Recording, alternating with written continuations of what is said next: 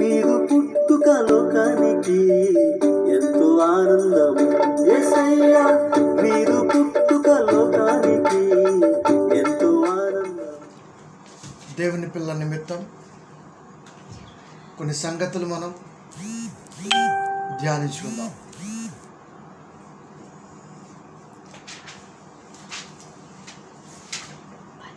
దేవుని కృపను బట్టి మనం ఆదివారం పిల్లలకి ఒక అద్భుతమైనటువంటి అంశం అందించాలనుకుంటున్నాను.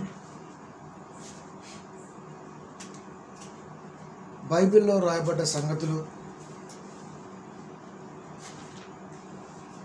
ఆయా కాలాలలో ప్రవక్తల ద్వారా పలికినటువంటి మాటలు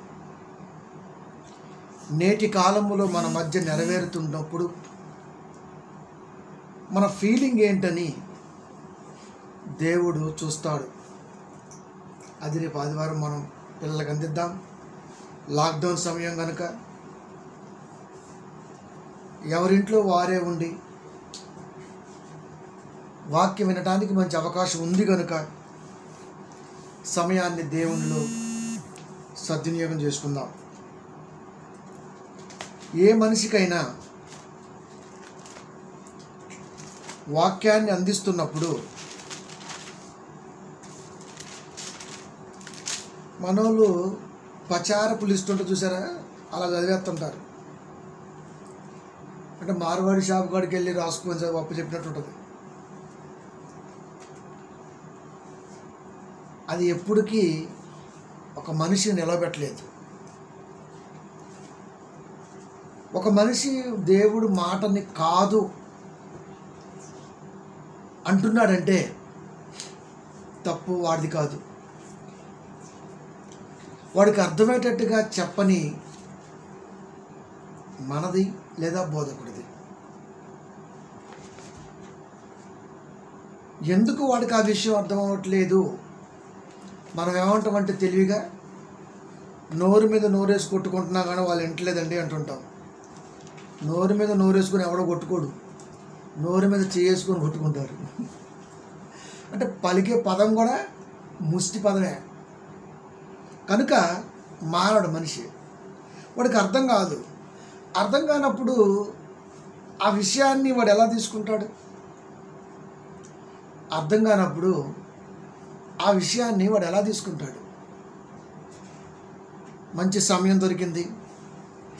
దేవుని కృపను బట్టి కొన్ని సంగతులు మనం అందించచ్చు జాగ్రత్తగా మీరు చూస్తుండండి నేను చదివి వినిపిస్తూ ఉంటాను. ఒకసారి బైబిల్ తెరిచి. చాలా జాగ్రత్తగా కొన్ని నిమిషాల పాటు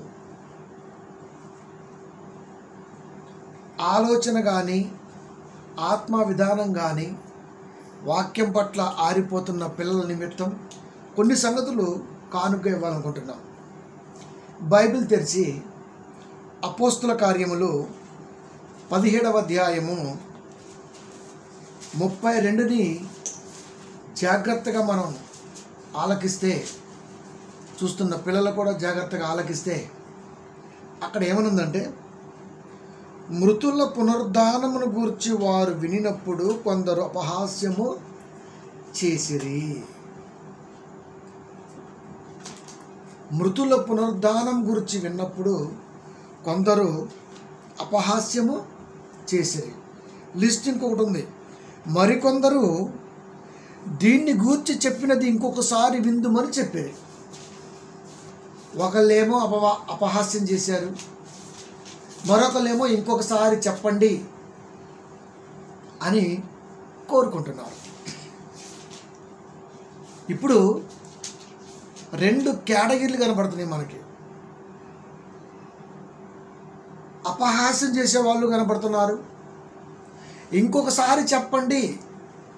ఇంకొకసారి చెప్పండి అంటే అర్థం కాక అడిగారు. లేదా మరొక రకంగా అడిగారో. తర్వాత ఆలోచిద్దాం. వారు పౌలు గారి యొక్క ఉద్దేశంలో ఏజెన్సీలో దొరుకుతుంది ఈ సందర్భం? వారు మృతుల పునరుద్ధానం గురించి వినినప్పుడు ఏజెన్సు వారులంటేనే దేవతా భక్తి గలవారు. అలాంటి వారికి మృతుల పునరుద్ధానం గురించి చెప్పటం అన్నది నిజంగా కత్తి మీద సాము లాంటిదే. అంత ఈజీగా అర్థమయ్యేది కాదు. చాలా ఈజీగా చెప్పొచ్చు. చనిపోతే మరొకసారి లేస్తామండి. లేస్తామన్న నమ్మకం అంత అంత స్టాండర్డ్గా ఉండటం మంచిదే. దానికి కావలసినటువంటి బేస్మెంట్ వేసుకున్నామా లేదా అన్నది ఇక్కడ చూసుకోవాలి. కనుక ప్రియమైన దేవుని పిల్లారా మృతుల పునరుద్ధానము గురించి వారు వినినప్పుడు కొందరు అపహాస్యము చేసిరి. మరికొందరు దీని గురించి నీవు చెప్పినది ఇంకొకసారి విందుమని చెప్పిరి. అలాగుండగా పౌలు వారి మధ్య నుండి వెళ్ళిపోయాడు ఇప్పుడు పౌలు ఏం చేస్తున్నాడు? పౌలు ఏం చేస్తున్నాడు? పౌలు చేసేది ఏంటయ్యా అంటే పునరుద్ధారం గురించి మాట్లాడాడు. పునరుద్ధారం గురించి మాట్లాడుతున్నాడు. ఎవరి మధ్య? క్రైస్తవ సంఘాల మధ్య కాదు. ఏజెన్సులో అప్పటికే అతి దేవతా భక్తి ఉన్నది? వారి మధ్య మాట్లాడుతున్నట్టు అంటే వాళ్ళకి ఏం అర్థం అవుతుంది వాళ్ళున్న వే వేరు వాళ్ళున్న ఆలోచన వేరు. వాళ్ళుండే ఉద్దేశం కూడా వేరు అక్కడ. కనుక మృతుల పునరుద్ధానం గురించి వారు వినినప్పుడు అంటే నేను మీరు పూజిస్తున్నటువంటి ఆ వాటిలో మీకు తెలియని చెబుతానని వాళ్ళని తీసుకొచ్చి దేవుళ్ళలోకి ఎన్నో సంగతులు చెప్పుకుంటూ చెప్పుకుంటూ చెప్పుకుంటూ వచ్చి మృతుల పునరుద్ధానం గురించి చెప్పటం కూడా మాట్లాడుతున్నాడు.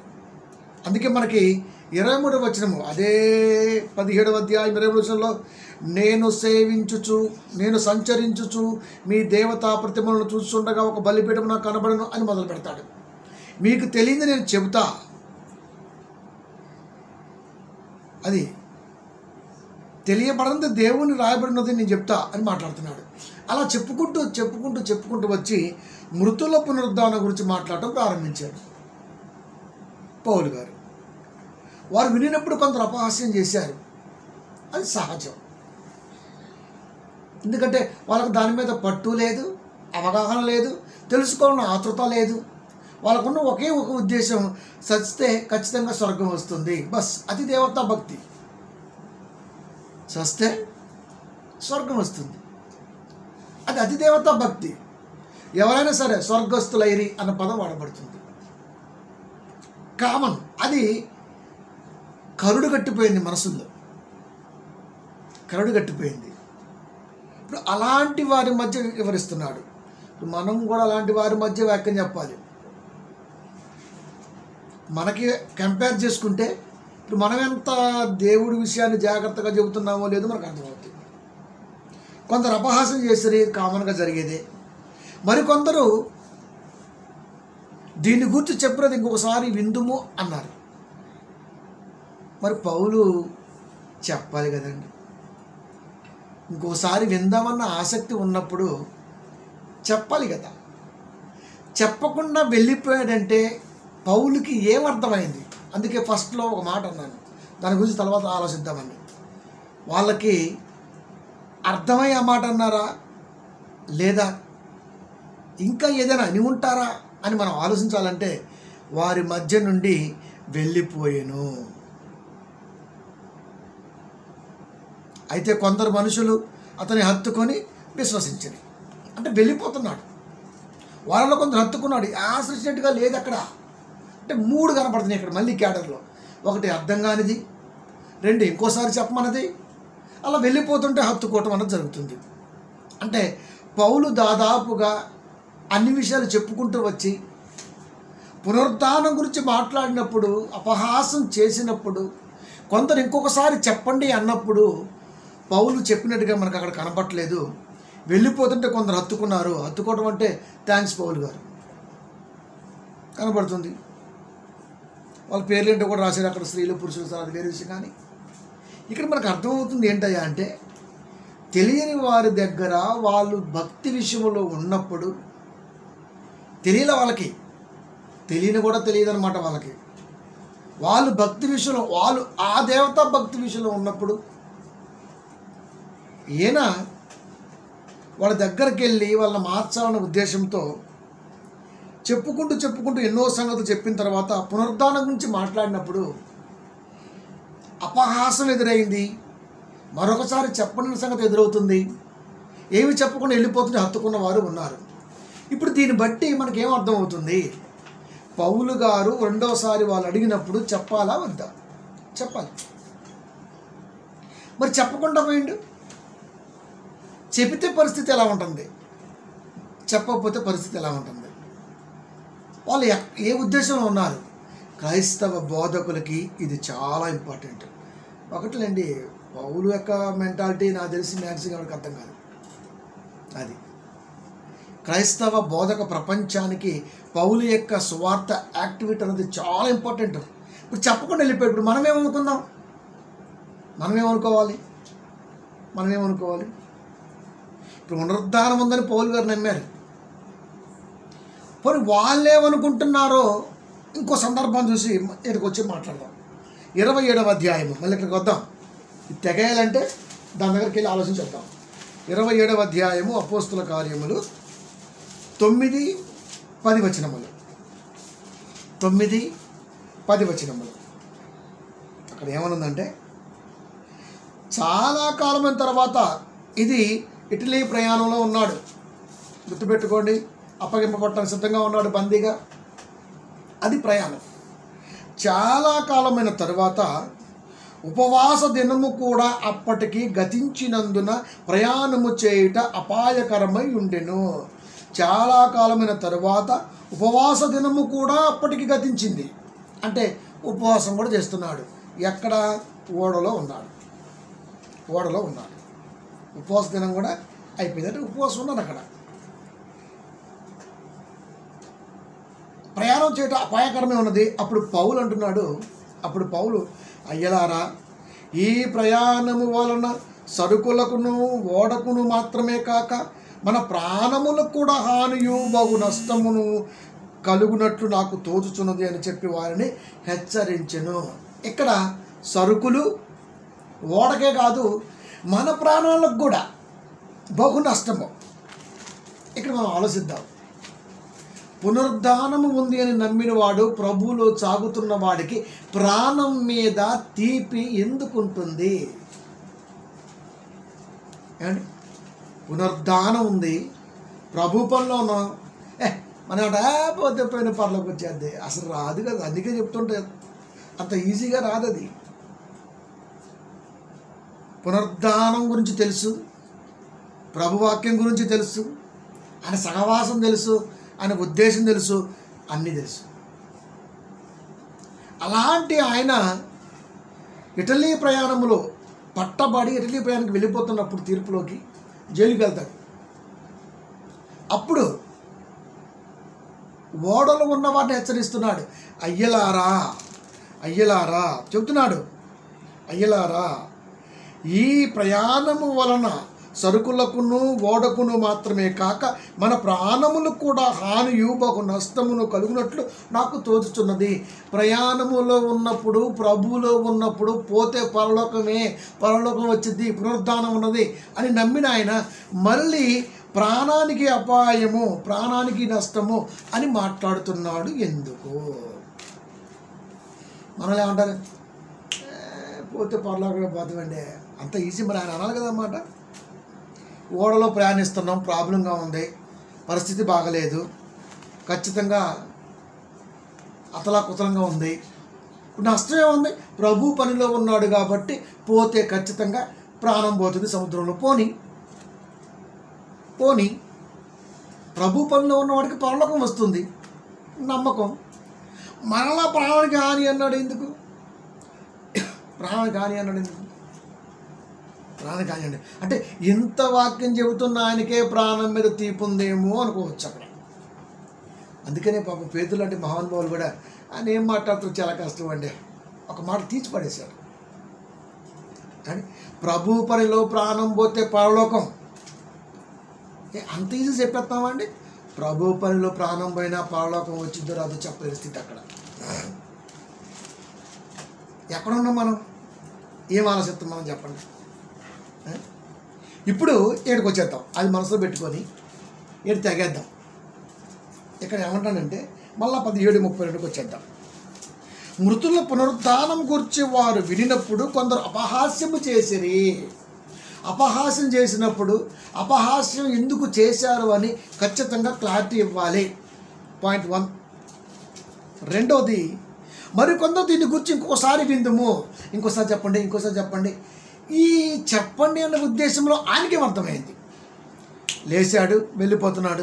కొందరు మనుషులు హత్తుకున్నారు. అంటే హత్తుకున్నవాడు విశ్వసించరా అంటే అక్కడ రాయ రాయబడింది విశ్వసించరి. లేచి వెళ్ళిపోతున్నప్పుడు హత్తుకున్నవాడు వాడు విశ్వసించబడు. మరి అడిగినవాడు ఎలాంటి వాడు? ఏ ఉద్దేశంతో అడిగాడు? భలే చెప్పిన బాబు ఇంకోసారి చెప్పు. ఇలాంటి పదాలు వాడుతూ ఉంటాం మనం ఆహాహా ఏం చెప్పిండు ఏం చెప్పిండు ఏం చెప్పిండు? ఇంకోసారి చెప్పు. ఇంకోసారి చెప్పు. అంటే అపహాసం చేసిన వాడు కనబడ్డాడు ఇంకోసారి చెప్పు అన్నవాడు కనబడకుండా ఉన్నాడు. వీళ్ళిద్దరూ డేంజరే. అంటే ఇక్కడ ఎంత చెప్పినా మళ్ళా మనకి ఏడు ఆరు మత్స్య వార్త కనబడింది. అక్కడ ఏమనుంది అక్కడ ఒక మాట చూసి వచ్చేద్దాం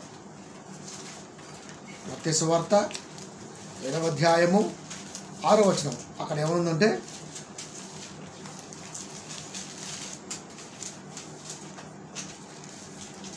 పరిశుద్ధమైనది కుక్కలకు పెట్టకుడి మీ ముత్యములను పందులు ఎదుటి వేయకుడి వేసిన అవి ఒకవేళ వాటిని కాళ్ళతో త్రొక్కి మీ మీద పడి మిమ్మును కూడా చీల్చివేయనేమో. అంటే అక్కడ పరిస్థితి ఎలా ఉంది? పరిశుద్ధమైనది కుక్కలకు పెట్టకుడి ముత్యములు వాటి ముందు పోయకుడి. అంటే పౌలకి ఎలా కనపడరు అంతా వేస్ట్ ఫెలోలా కనపడ్డారు. అందుకనే పౌలు యొక్క ఉద్దేశం ఏంటంటే ఎక్కడికి వెళ్ళినా సురక్క క్వశ్చన్ మార్క్గా మిగిలిపోతాడు. క్వశ్చన్ మార్క్గా మనం మిగిలితేనే వాడు ఆలోచిస్తాడు. ఏజెన్సీలో వాళ్ళ ఆలోచన పుట్టాలంటే ఆన్సర్ ఇంకా బైబిల్ ఎత్తుకుంటే ఏముంటుంది? పలానా చోట ఇలా ఉంది పలానా చోట ఇలా ఉందో చెప్పామనుకోండి ఇంకేముంటుంది? కనుక క్వశ్చన్ మార్క్గా ఎప్పుడైతే మనం ఉంటామో వాడు జుట్టు బీక్కుంటాడు వాడికి బూడిదలు వచ్చేది అంటే అర్థం ఏంటి? జ్ఞానం అది చూసారా ఎంత జ్ఞానం పడుతున్నాడు చెప్పలేక ఏంటి? బోల్డ్ సార్లు చెప్పాడు. సందర్భాన్ని బట్టి మనుషుల ఉద్దేశాన్ని బట్టి వాక్యాన్ని విశదీకరించడం అన్నది పౌలు గారి యొక్క వాక్యపు స్టైల్. అది. అక్కడ చెప్పట్లా? వెళ్ళిపోతున్నాడు అంతే. వెళ్ళిపోతున్నాడు. కనుక ఇప్పుడు పునరుద్ధానం గురించి వాళ్ళు ఆలోచించాలి. అడిగితే చెప్పకుండా వెళ్ళిపోయాడు. లేచి అడిగినా కూడా చెప్పకుండా వెళ్ళిపోతున్నాడు. మధ్యలో మళ్ళీ వీళ్ళేంటి? అత్తుకున్నారు విశ్వసించారు. అంటే పౌలు గారు వెళ్ళిపోయినా విశ్వసించిన వాడి కాళ్ళ కాడికి ఏజెన్సీ ప్రాంతం రావాలి. అంటే సువార్త బ్రతికి తీరాలి.